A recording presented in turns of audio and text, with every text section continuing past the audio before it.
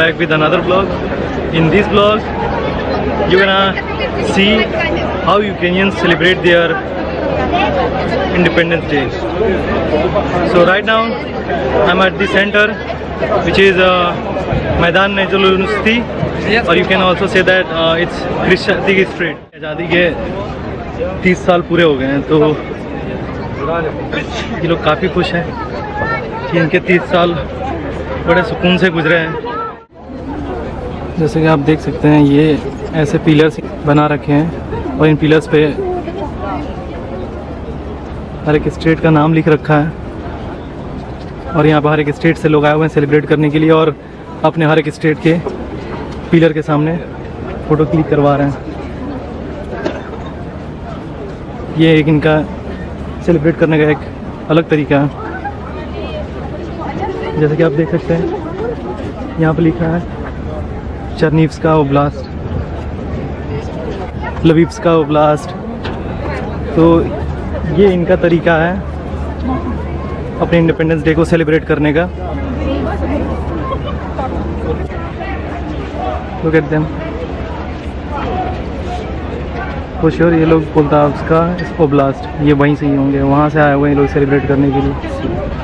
हर कोई अपने अपने तरीके से सेलिब्रेट कर रहा है अपने अपने स्टेट के सामने। खड़े होकर फ़ोटोज़ क्लिक करवा रहे हैं।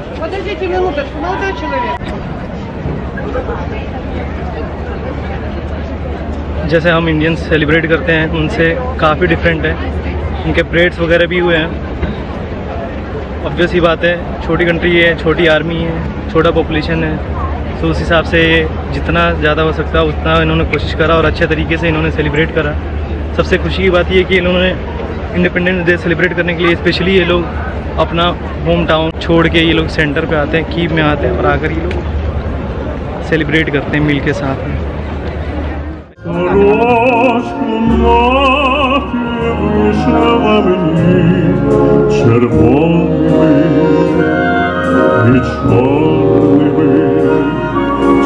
तो आज है इनका इंडिपेंडेंस डे इनको फ्रीडम मिली थी 1991 में। 24 अगस्त 1991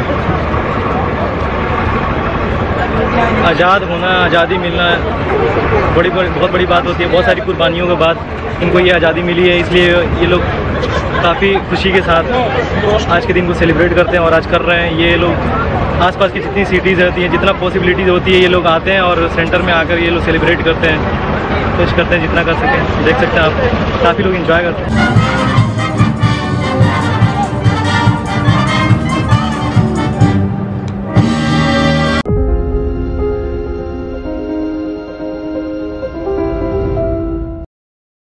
और ये ड्रेस यहाँ की ट्रेडिशनल ड्रेस है।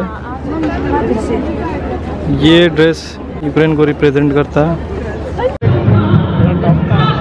Stem national it means happy independence day so this is how they enjoy this is how they celebrate their independence day